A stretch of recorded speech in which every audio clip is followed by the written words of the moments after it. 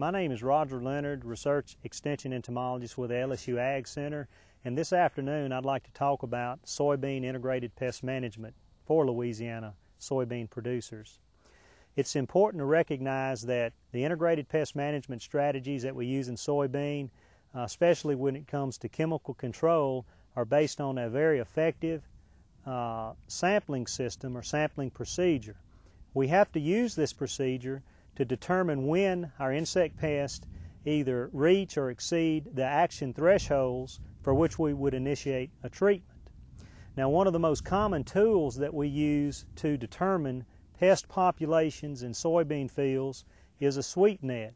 The use of a sweep net can be very effective. Essentially, all it is, it consists of a uh, short wooden stout rod about 24 to 30 inches in length, a spring wire frame of about uh, 1 8 to 1 quarter inch metal, and then a muslin or heavy cotton net, which is used to capture these insect pests.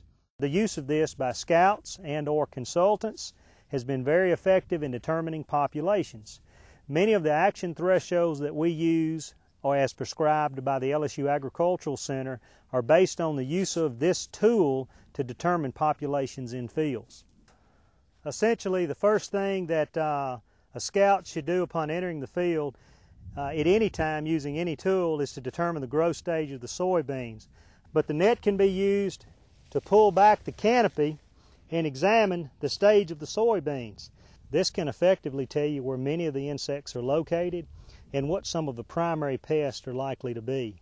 Using a net in this fashion exposes all the seed pods where you can examine the size of those beans and the maturity level.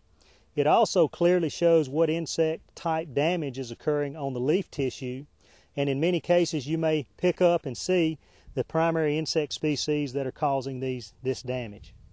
Early in the season on small beans, usually during the R2 to R4 stages, we need to sample deeper in the canopy because that's where the uh, much of the initial pod development is taking place. A lot of the insects that we're collecting, such as stink bugs, are seed feeders.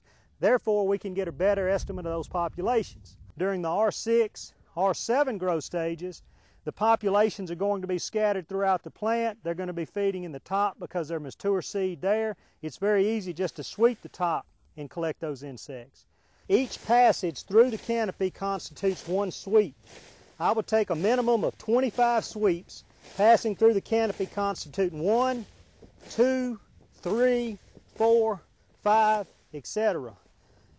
Completing a series of 25 sweeps allows you then to pop the net over. It dislodges the insects from the side of the net, concentrates them into the bottom.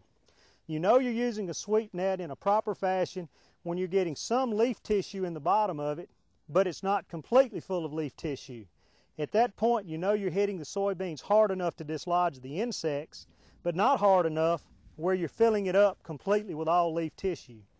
This, we tend to capture large numbers of stink bugs as well as some of the caterpillars. This particular set of sweeps produced a threshold level of southern green stink bugs and also some red banded stink bugs and brown stink bugs mixed in. The LSU Ag Center has prescribed action thresholds for most of these pests that are located on the website.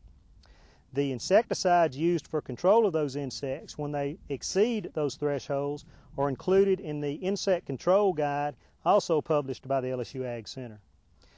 Most of the time, the type of insect you collect is dictated by the time of season as well as the growth stage of the soybeans.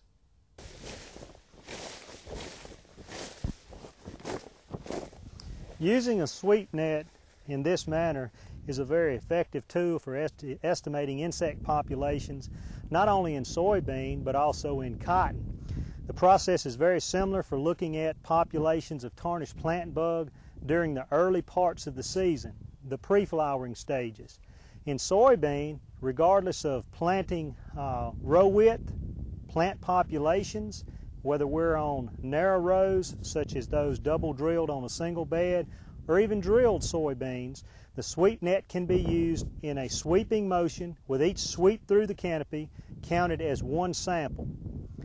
To effectively use that technique, the information is only as valuable as that's collected for that spot. Therefore, it's very important to sample multiple areas across the field to obtain as good an estimate as possible of populations across that entire field and to determine if the entire field needs to be treated.